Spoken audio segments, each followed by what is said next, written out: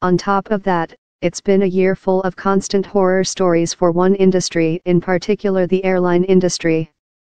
Though damage done can't be reversed, many airlines are trying to offer new incentives and statements to fix damaged relationships and public perceptions. And through this all, one airline stands out in particular as bypassing any major negative story and in fact, putting out more positive press than any airline prior, JetBlue. The company's newest initiative number check-in for good serves as further proof of that.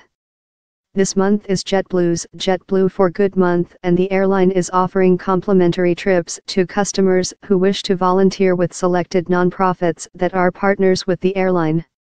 Volunteer trips include a trip to Houston to help Houston Public Libraries, a trip to Jamaica to help the Sandals Foundation with local community efforts in the Caribbean and a trip to the Bahamas to help the Atlantis Blue Project Foundation with ocean and environmental conservation. Here's how it works.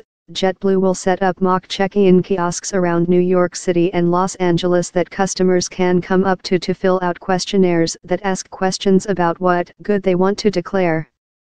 Customers not living in either city can also enter online here. Entrance will be matched to a trip based on which of JetBlue for Good's three key pillars youth and education, community, and the environment they are most aligned with. Entrance will then be put on standby for an opportunity to win a spot on one of the three trips. The competition closes this Thursday, November 9th.